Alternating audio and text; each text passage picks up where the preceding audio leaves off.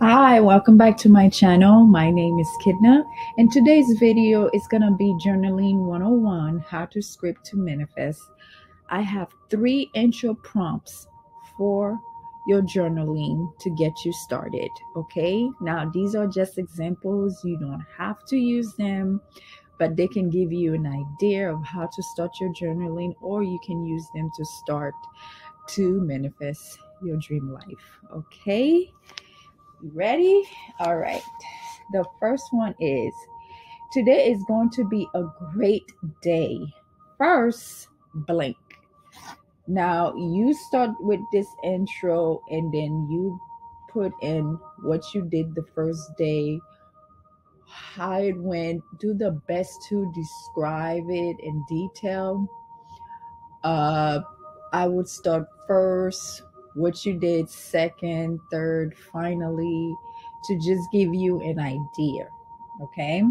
The second prompt is this day is full of blank. What is this day full of? What do you want it to be full of? What do you want to manifest?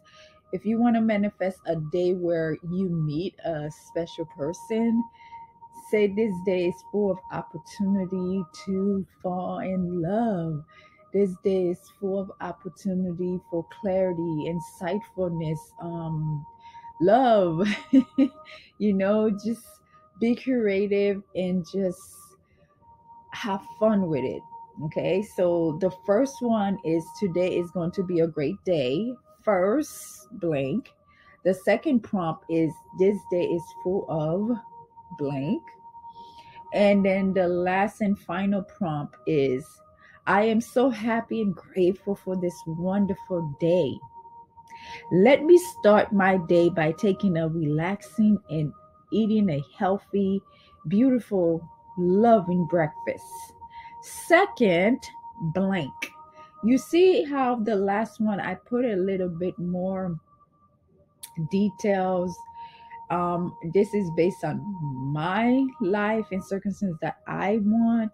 So it's really good to really put exactly what you want in your life and what you want to manifest. So for me, it would be second, I am attending to my Etsy shop. I am doing bookkeeping, etc. So put the stuff you want to manifest in combination with stuff that's already going on in your life that's a good combination, very powerful scripting to manifest. So, this is Kidna. This is your journaling 101 how to script to manifest. Three intro prompts. Please don't forget to share this video whoever need to learn how to manifest, learn how to journal, and don't forget to go on the Etsy shop and get your journals if you don't have a journal already. Thank you so much for watching, and I will see you next time. Bye.